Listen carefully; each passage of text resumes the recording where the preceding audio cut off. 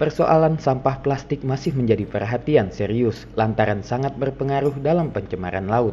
Maka dari itu, Pengawasan Sumber Daya Kelautan dan Perikanan atau PSDKP Tarakan berharap banyak pihak yang terlibat dalam memperhatikan pencemaran laut di Kota Tarakan melalui dukungan semua pihak, salah satunya media sebagai ujung tombak pemberitaan.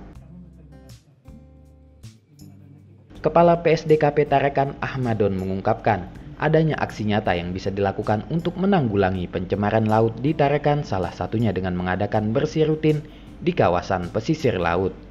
Baginya menanggulangi pencemaran laut bukanlah hal mudah, apalagi kebiasaan masyarakat yang membuang sampah plastik di pesisir laut sudah menjadi hal yang biasa. Untuk mengubah hal tersebut, memerlukan peran semua pihak. Kepada media, ia berharap ada peran dalam mengkampanyekan peduli akan pencemaran laut yang sering terjadi. Dilanjutkannya, tidak hanya mempengaruhi pencemaran air laut, namun sampah plastik juga akan berpengaruh dengan hasil tangkap perikanan oleh nelayan. Baginya persoalan pencemaran laut bukanlah isu lokal, namun sering kali menjadi isu global, sehingga perlu adanya aksi nyata yang harus dilakukan. Saat ini untuk di kota Tarakan, sudah adanya Perwali nomor 9 tahun 2019 tentang pengurangan penggunaan kantong plastik.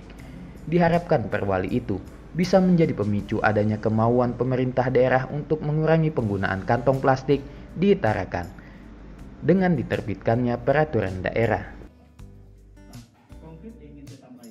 mungkin kita coba lah memulai dari hal yang kecil-kecil dengan bersih rutin kalau menurut saya tiga bulan, dua bulan, tiga bulan, empat bulan, lima bulan, atau tadi yang disampaikan oleh teman-teman media, ada masanya pasang surut tertinggi, pasang surut terendah. Kalau istilah di sini air mati, air hidup.